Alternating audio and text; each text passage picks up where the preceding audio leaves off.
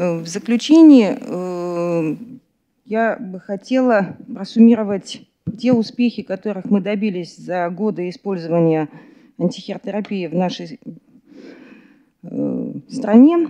И э, на примере реального клинического случая, как видите, все основано на абсолютно жизненных фактах, проследить эволюцию антихиротерапии, которую мы имеем счастье наблюдать в настоящее время. Итак, пациентка 1974 года рождения. На момент установления диагноза в декабре 2002 года ей было 28 лет, ребенку тогда было 3 года. Э, у нее был диагностирован рак левой молочной железы, T4N1M0, Э, регионарные лимфоузлы были подтверждены по данным УЗИ и цитологически. Это была протоковый инфильтративный э, рак второй степени злокачественности. Обратите внимание, в те годы мы еще пользовались оценкой экспрессии стероидных рецепторов иммунологической, но тем не менее она была гормон позитивна. HER2 статус у нее был оценен стандартным ИГХ-тестом 3 плюса, и она готовилась для включения э, в исследование НОАХ, которое как раз стартовало к этому моменту. Как вы видите, на, на конец 2002 года уже было одобрено использование трастузумаба в, э, в комбинации с токсанами в качестве стандарта первой линии лечения, и как раз э, был начат набор в это исследование.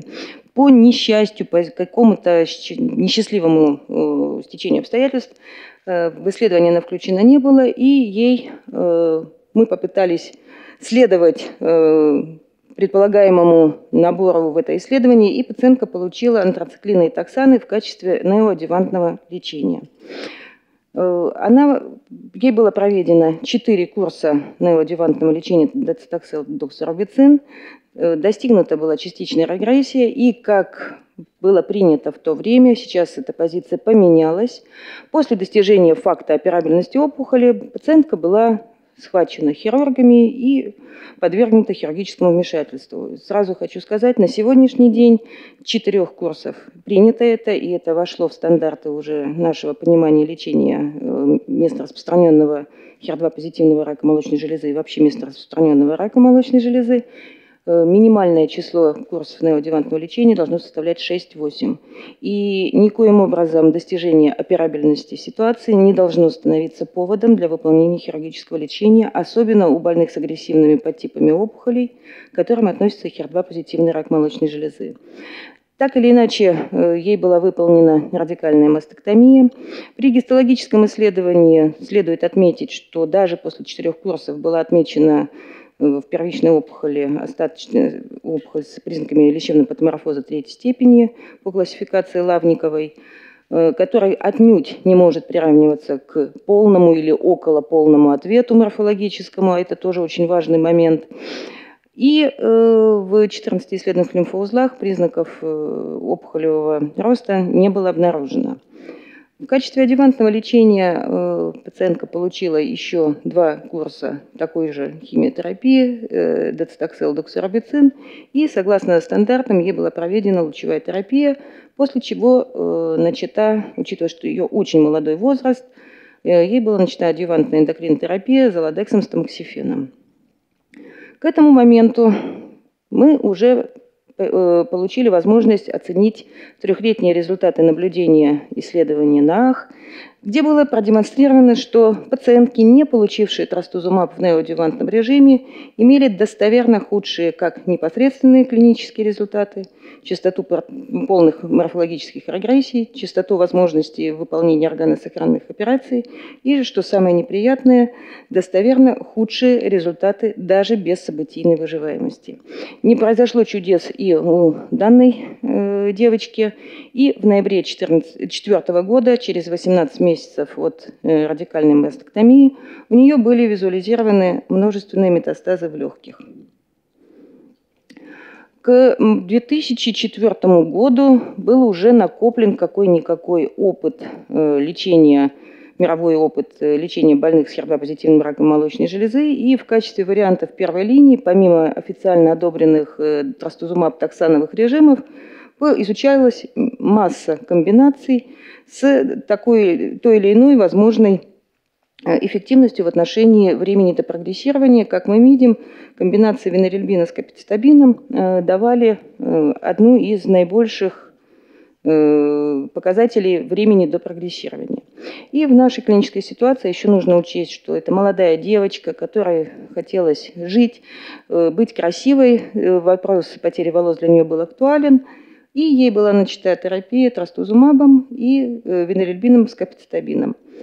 На протяжении семи курсов никакого существенного ответа мы не получили, была стабилизация болезни, и при очередном обследовании в сентябре 2005 года было зафиксировано увеличение размеров метастазов легких.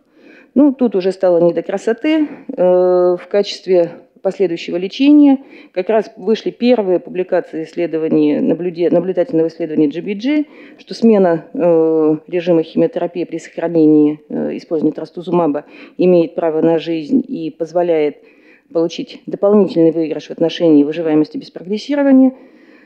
Сохранив трастузумаб, был назначен с нашей точки зрения один из самых высокоэффективных режимов. Мы дали препараты платины с токсанами, карплатин с поклитокселом э, каждые три недели. Однако никакого ответа мы не получили. Была стабилизация с постепенной тенденцией к увеличению размеров метастазов в легкие.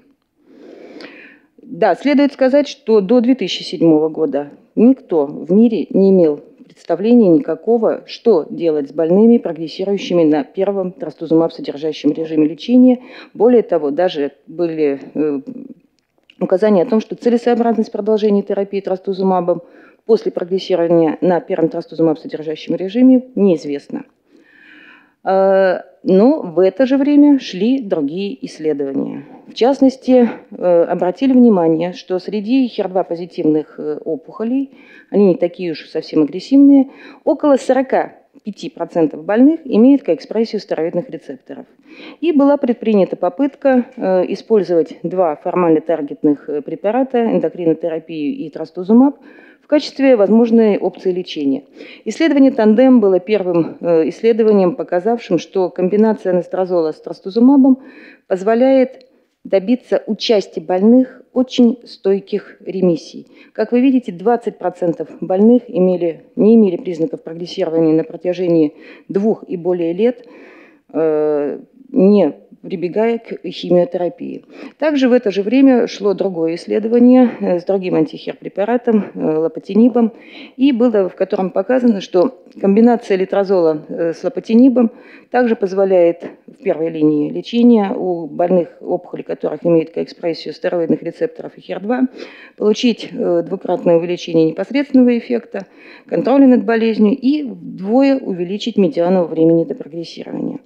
Мы вспомнили Э, и к этому моменту, в 2007 году, комбинация трастузумаба или лапатиниба с ингибиторами ароматазы была официально одобрена в качестве возможного стандартного варианта первой линии лечения у больных с метастатическим HER2-позитивным раком молочной железы с коэкспрессией стероидных рецепторов.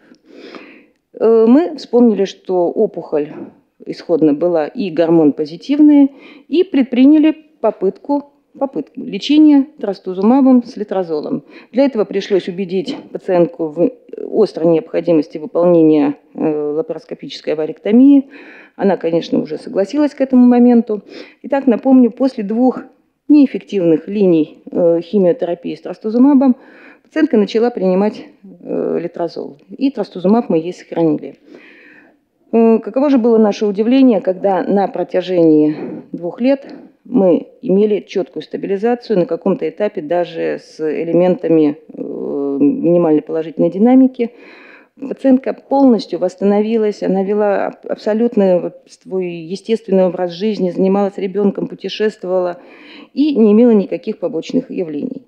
Поэтому, когда через два года случилось прогрессирование болезни в виде появления метастазов в кости, только, и некоторого увеличения размеров метастазов в легких, мы, забыв, что больная хер-позитивная, стали ей заниматься как гормон-позитивной пациенткой.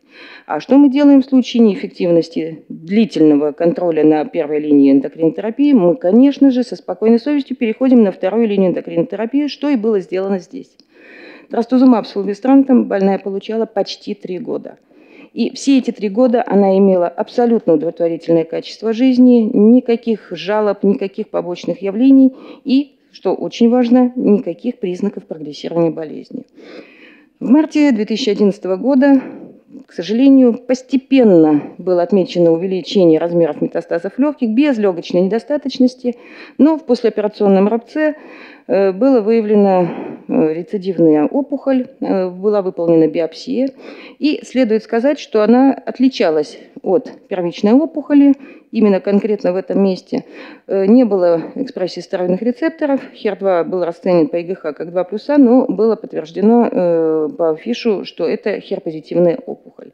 Таким образом, формально на этот момент мы стали иметь э, гормон отрицательную хер-позитивную болезнь и по-прежнему бороться с гормон-позитивной хер-положительной болезнью. Почему это так важно? Потому что все наши дальнейшие действия предусматривали перекрытие двух формально разных опухолевых процессах. Мы никогда не забывали, что исходно существующие метастазы в легких очень хорошо отвечали на гормонотерапию, но понимали, что вновь появляющиеся метастазы могут иметь другой иммуногистохимический подтип и, соответственно, другую чувствительность к лечению. Э, с мая по октябрь 2011 года, поскольку рецидив был большой, с угрозой изъязвления и э, кровотечения, ей была э, назначена химиотерапия, ринотекан, гемцитабин и сохранен трастузумаб. Этот режим, он нестандартный, это наше, собственно, отделенческое ноу-хау. У нас большой опыт по использованию такого режима с хорошей переносимостью и неплохой эффективностью в третьей, четвертой последующих линиях лечения. И нужно сказать, что и у этой пациентки нам удалось добиться частичной регрессии рецидивной опухоли, минимального сокращения метастазов легких и, и стабилизации костных метастазов. Э, химиотерапию мы вынуждены были прервать не из-за прогрессирования болезни, а ввиду гематологической токсичности. Встал вопрос, что делать с пациенткой дальше. К этому моменту мы обратились опять к идущим э, международным клиническим исследованиям и полученным данным. Комбинация лопатиниба с капицитабином в качестве э, возможной опции у больных, имеющих прогрессирование на трастузумаб содержащих режимах, показавшая, что позволяет получить хорошую прибавку в отношении выживаемости без прогрессирования, непосредственной эффективности. Другое исследование лапатинип с трастузумабом, которое, в общем-то, даже стало э, одним из стандартов лечения сильно предлеченных ER-позитивных больных, также показало, помимо непосредственной эффективности, прибавки выживаемости без прогрессирования, показало и увеличение уже общей выживаемости. И, э, зная эти данные, не имея возможности использовать зарегистрированную к этому моменту комбинацию пертузумаба трастузумаба с децитокселом, мы назначили пациентке трастузумаб с лопатинибом. И с, с октября 2011 года по декабрь 2012 года она великолепно себя чувствовала на этом режиме лечения до того момента, когда, к сожалению, в, октябре, в декабре 2012 года мы пришли, э, согласились с нашими рентгенологами, что имеющуюся картинку уже вновь следует расценить как прогрессирование. За время двойной комбинации двух антихер-препаратов мы вынуждены прерывались на два месяца с введением трастузумаба из-за снижения фракции выброса левого желудочка, но, как и в большинстве случаев, и в ее ситуации, это оказалось обратимым процессом, и на фоне кардиотропии радиотропной терапии мы потом нормально продолжили лечение. Э, с декабря 2012 года мы уже пошли по возможным опциям, э, имеющимся э, доступности, и она была переведена на лопатинип с капицитабином. Следует сказать, что этот режим был малоэффективен, и уже в марте 2013 года было вновь зафиксировано увеличение размеров метастазов в легких. Мы вынуждены были опять обратиться к идущим научным Э, исследованиям. И как раз в эти годы было доложены первые промежуточные результаты э, экспериментального достаточно, но хорошо организованного лечения по возможностям преодоления э, резистентности к трастузумабам за счет использования препарата МТОР-ингибитора Эверолимуса. И исследование Болеро-3, предполагавшее назначение такой подгруппы пациентов винорельбина в еженедельном режиме, Эверолимуса в дозе 5 мг и трастузумаб в еженедельном режиме, было перенесено и в нашу клиническую практику и назначено данной пациентке. Восемь курсов так или иначе нам удалось провести пациентки, и, соответственно, около восьми месяцев она, болезнь ее находилась под контролем. Э, в декабре 2013 года э, она собиралась как раз ехать кататься на горных лыжах. У нее э, возник выраженный болевой синдром в костях таза, и при обследовании была выявлена угроза патологического перелома правой бедренной кости за счет большого достаточно литического метастаза. Была проведена экстренная лучевая терапия на правую половину таза и верхнюю треть правой бедренной кости. И мы опять вспомнили, что она гормон позитивная. И мы назначили ей литрозол с феролимусом в качестве лечения гормон-позитивной болезни, поскольку мы знаем, что феролимус позволяет преодолеть резистентность не только к трастузумабу, но и к гормонотерапии, и сохранили ей введение трастузумаба. Э, на этом режиме, забегая вперед, я могу сказать, что она очень долго продержалась. И за это время в процессе лечения э, эверолимус литрозол трастузумаб э, в апреле 2014 года у нее были выявлены метастазы в головной мозг в, в левое полушарие. И здесь представлены КТ, это делалось по витальным показаниям в городской больнице, и был выявлен достаточно большой метастаз в правой гемисфере мозжечка с выраженным перифокальным отеком. Не меняя режима лечения, поскольку остальные метастатические проявления болезни были хорошо контролируемы, э, дополнительно на фоне литрозола, верлимуса и трастузумаба больная получила облучение всего головного мозга. Э, Серотоксические варианты не были предприняты ввиду финансовых затруднений. Э, был достигнут хороший симптоматический эффект на фоне лучевой терапии. И до августа 2014 года больная по-прежнему получала литрозол, эверолимус и трастузумаб. В августе 2014 года было отмечено появление новых метастазов в костях, сопряженных с болевым синдромом. Была проведена лучевая терапия на зоны костного, нового костного метастазирования. И временно мы ждали, когда появится гемцитабин э, в нашей клинике. Больная была переведена на индоксан с метриксатом, сохранен трастузумаб. Э, это была временная мера, чтобы как-то чем-то продержать больную. И с октября 2014 года ей была начата химиотерапия карбоплатин гемцитабин. Э, мы ей назначили экземистан для борьбы с гормон-позитивной болезнью и продолжен трастузумаб. Э, следует сказать, что гемцитабин, видимо, для этой пациентки имеет принципиальное значение. Мы опять получили длительную стабилизацию с минимальной положительной динамикой со стороны метастазов легкие.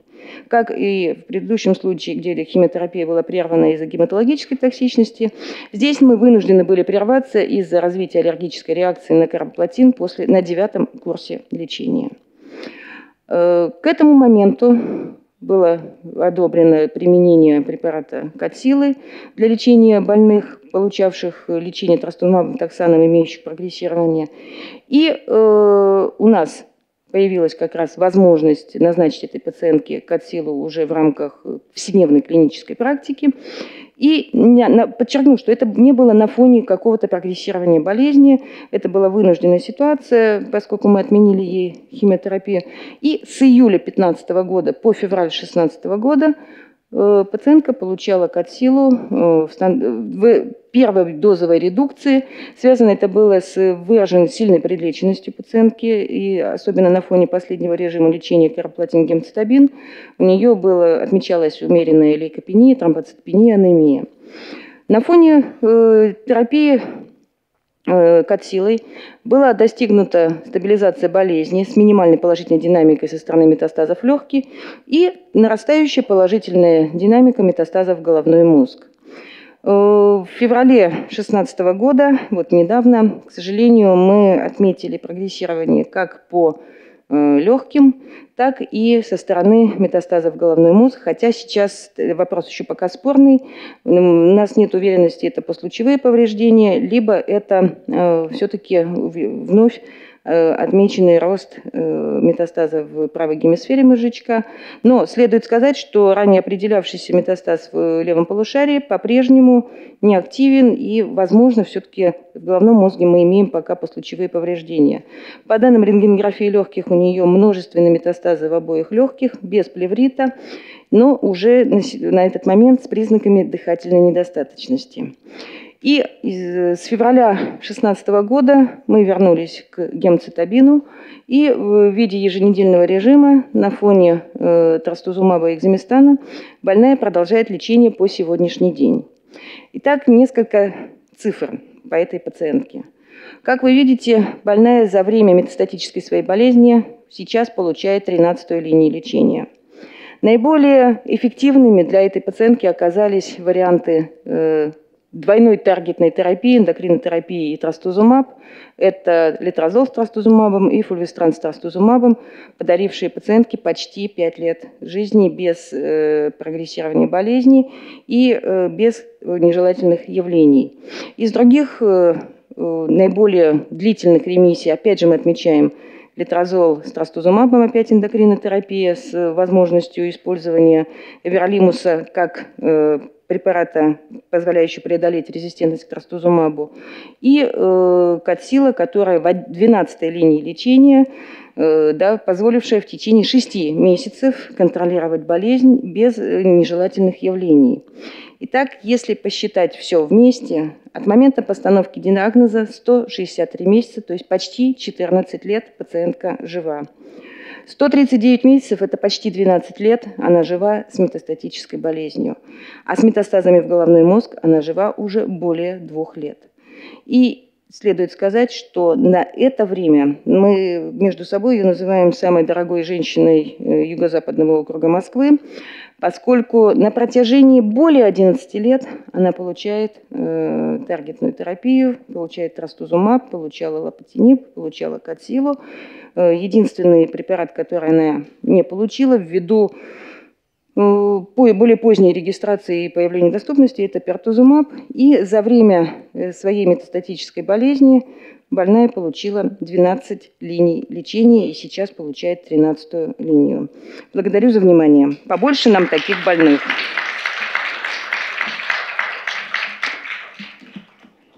Так, у нас есть все-таки, я так понимаю, несколько минут для дискуссии, э, для каких-то вопросов, возможно, каких-то ваших клинических ситуаций, которые требуют э, обсуждения. Вижу желающих задать вопрос. Пожалуйста.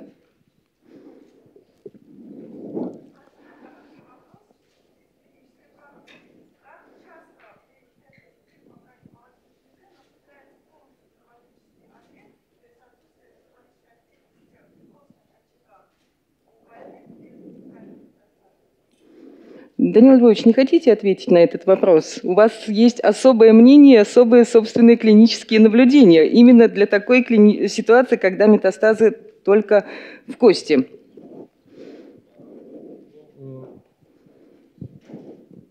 Что я хочу сказать? Вот по поводу метастазов в кости. Конечно, это очень сложная э, проблема, как оценивать эффективность вообще любой терапии, будь то гормонотерапия, будь то химиотерапия при метастатическом поражении костей очень сложно поставить и полный ответ, и тогда частичный и так далее. Вот э, лично я предпочитаю обычную стандартную компьютерную томографию.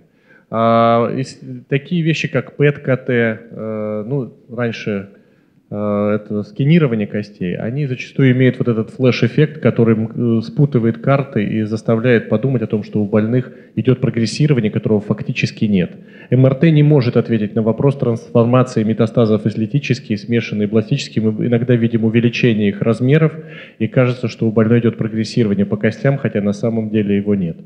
А, ПЭТ э, – вещь очень сложная. Воспалительная инфильтрация, которая зачастую есть в любом метастазе, может опять-таки усиливаться в какой-то момент при э, позитронной эмиссионной томографии. И только вот получается, что обычный рентгенологический метод, либо компьютерная томография, э, четко дает нам картину трансформации метастазов из литических через смешанные в бластические. Поэтому я в своей вот э, ежедневной клинической практике опираюсь именно на рентген, если это удобные для рентгена кости, скажем так, без э, там, трубчатые, без большой суммации теней, и обычная компьютерная томография, сравниваю, что было, что стало, если вижу, что нарастает э, склеротический венчик, я считаю, что это положительная динамика, даже если там сканирование дает э, отрицательную динамику. Практически редко бывает наоборот. Вот все-таки вопрос заключается в том, как часто э, наблюдается выраженная положительная динамика у таких больных, которые получают э, таргетную терапию без химиотерапии, допустим, в сочетании с гормонотерапией mm. или чем-то таким, так или же, только таргетную Так же, как и у всех остальных. Точно так же частота ответов, она, в общем-то, приблизительно такая же. Нельзя сказать, что метастазы в кости более чувствительны или менее чувствительны. Э, наверное, она приблизительно такая же. Скорее, может быть, чуть более чувствительно, учитывая, что у нас есть еще и опции гормонотерапии. Кости более благоприятный, наверное, участок метастазирования. Спасибо. Еще есть вопросы? Пожалуйста. Поддерживающую терапию, какую поддерживающую терапию вы используете, ну, допустим, при э, метастазах кости, для того, чтобы улучшить качество жизни больного? Э, вы имеете в виду, что используемые из препаратов, ну, модифицирующих вот имею в виду, бифосфонаты, деносумаб, При болевом это... синдроме в кости в нашем институте используют метастрон. А что используете вы? Мы, во-первых, при рентгенологическом подтверждении костной деструкции обязательно обсуждаем назначение э, либо бифосфонатов, либо деносумаба с кальциевой поддержкой ежедневной. При выраженном болевом синдроме э, мы добавляем по необходимости лучевую терапию, в том числе и в виде да, однофракционного использования. Я выскажу свою, сугубо свою точку зрения в отношении лечения стронцием и всего остального. К сожалению, э, для конкретно рака молочной железы это не очень удачная опция, это моя точка зрения, потому что на долгое время мы перестаем иметь возможность провести адекватное цитостатическое лечение. Пациенты получают такую дозу э, угнетения, такую выраженность угнетения костного мозга, что месяца на 2-3, а иногда навсегда мы больше не можем назначить ей адекватную химиотерапию. Мы решаем опцию назначения эффективного противоопухолевого лечения. Поэтому к этому методу мы стараемся прибегать, когда уже ну, больше нечего делать. Это моя точка зрения. Я думаю, что Данил Львович э, полностью ее почему-то поддерживает.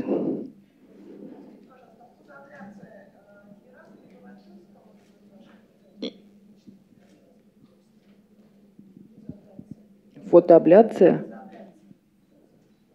Это новый метод, извините. У нас э, в клинике, видимо, мы не знаем, что он используется, если он вообще да, есть. Спасибо. Это э, как а, как а, по типу метода хайфу, если вы слышали. Это мы знаем, да. да. А, и также обычно, правда, раньше, как правило, это используется при метастазах рака предстательной железы в кости таза. Но, в принципе, нет никакого разграничения. Я сама онколог-мамолог, я не радиолог.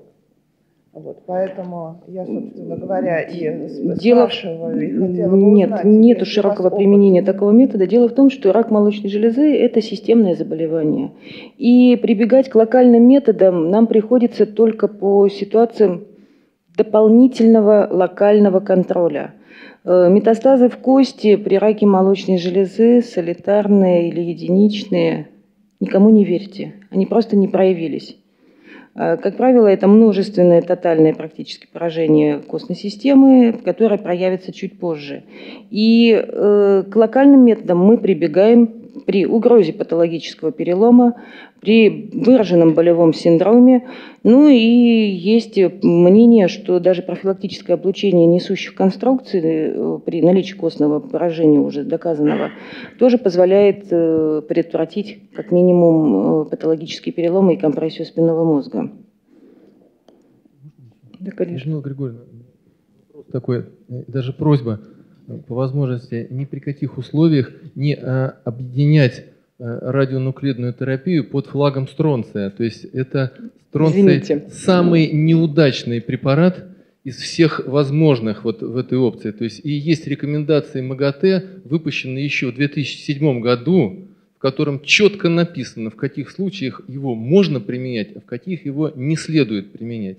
И там написано, что если метастазов менее 10, то его можно применять. Если более 10, его уже не рекомендуют применять. МАГАТЭ написала да, да, да, для году. онкологов рекомендация. Это рекомендация по ядерной медицине. Значит, ну, в принципе, его любой может прочитать. Всё. А, И э, другой момент, что, конечно же, обидно, э, когда происходит объединение вот под флагом вот этого самого неудачного препарата, который еще плюс ко всему у нас, э, он появился первым на нашем рынке и применяли его весьма неудачно в самом начале. Короткоживущие препараты, конечно же, дают другой совершенно результат, и э, современные подходы с использованием короткоживущих изотопов, короткопробежных, э, особенно в, сказать, в низких э, дозировках, они э, позволяют вот все вот здесь Ну, сказанное реализовывать. Конечно, это Спасибо, нужно да. принимать во внимание. Я думаю, что это отдельная тема для дискуссии. Нас организаторы просят э, завершить нашу встречу. Все остальные вопросы в частном порядке. Спасибо большое всем за участие.